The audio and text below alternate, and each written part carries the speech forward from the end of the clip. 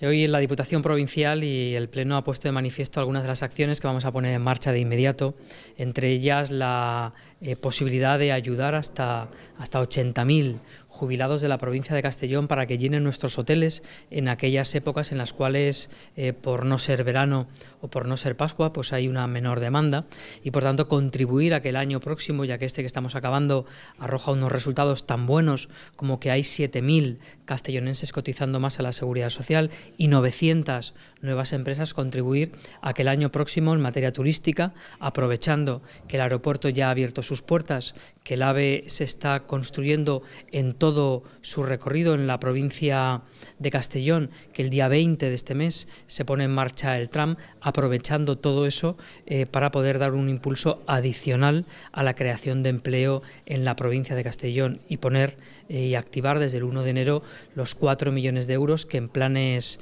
eh, para la creación de empleo, para la contratación y los 25 millones 200 mil euros para financiar 487 obras van a permitir que el año próximo sea el año del empleo en la provincia de Castellón. Dins d'este mes, dins del mes de desembre, es farà pública l'aprovació del Pla de Cuenca de l'Ebre que preveu la eh, dotació de 22 milions i mig d'euros per a la comarca d'esports en inversions hídriques que garantissin un abastiment amb una reserva hídrica de 10 hectòmetres cúbics. Un fet històric,